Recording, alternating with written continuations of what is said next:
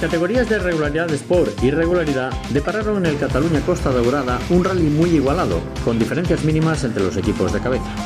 En regularidad Sport, Jaime y Enrique Carbonell sumaron su segunda victoria consecutiva de la temporada, resultado que, junto a su mejor registro en el TC Plus, les permite alcanzar el liderato en la general del CRVH. Los mallorquines acabaron al frente de la tabla la jornada del viernes y lograron mantener el primer puesto hasta el final, pese a la remontada de sus más directos rivales en la lucha por el título, Fran Martínez y José Manuel Villamayor. Los asturianos completaron un nuevo doblete de los Forcera Cosworth a base de recuperar posiciones el sábado después de haber concluido cuartos la etapa del viernes. Hemos estado todos en un pañuelo. Afortunadamente esta mañana se nos ha dado bien, hemos podido conseguir un poquito de ventaja, que luego es lo que nos ha servido para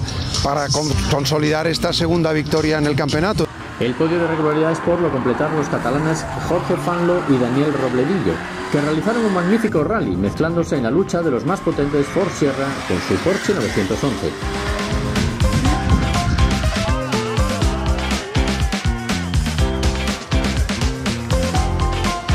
La categoría de regularidad del CRVH tuvo en el Rally Cataluña Costa Daurada sus terceros vencedores diferentes en lo que va de temporada. La victoria en la segunda cita catalana del certamen fue para Darío José García y Emilio Pascual, que se mantuvieron durante todo el rally en cabeza para acabar logrando su primer triunfo del año con el BMW. Desde el primer tramo hemos podido ponernos líderes, la noche fue complicada pero pudimos avanzar más y, hacer más ventaja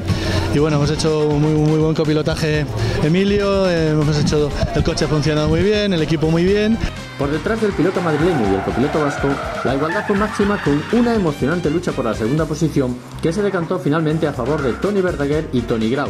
Los catalanes del Porsche 944 superaron en el último bucle a los ganadores en el Costa Brava, Carles Miró e Iván Matavacas, que se tuvieron que conformar en esta ocasión con el tercer puesto a bordo de su Porsche 911.